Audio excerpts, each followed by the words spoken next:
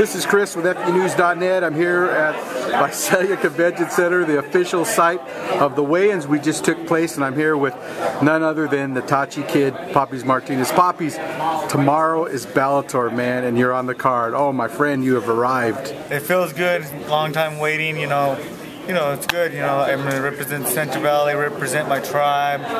You know, this for you know everybody in the Central Valley, my tribe, the Chioka tribe, my wife and kids back at home. This is gonna be it's like a dream come true. Tomorrow night, I'm on the show. Long journey, man. And like they said, the legend, he's gone, but he still lives, man. And and I know he's looking down on you, and uh, he's part of this journey along with you. That's that's the plan.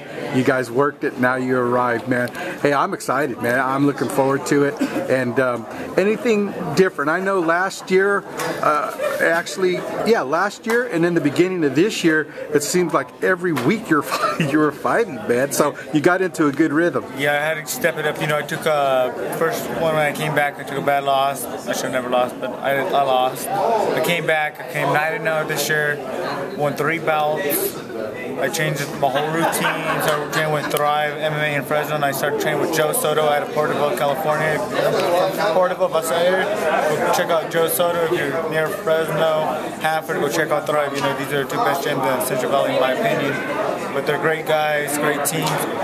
Picked up my game, picked up two two gladiator titles and a tag title.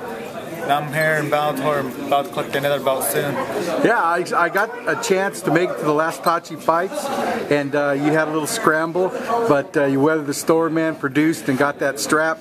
Awesome, man. That, that was that was awesome. But uh, I know it's time to grub. You paid your dues. Now it's time to go and treat yourself a little bit. Appreciate the time.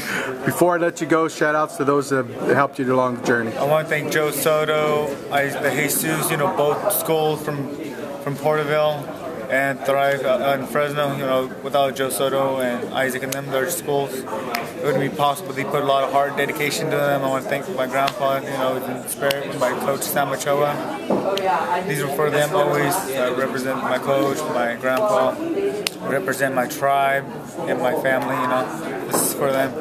All the hard work. All right, my friend. Hey, I appreciate the time, man. God bless you. You have fun tomorrow. Thank you.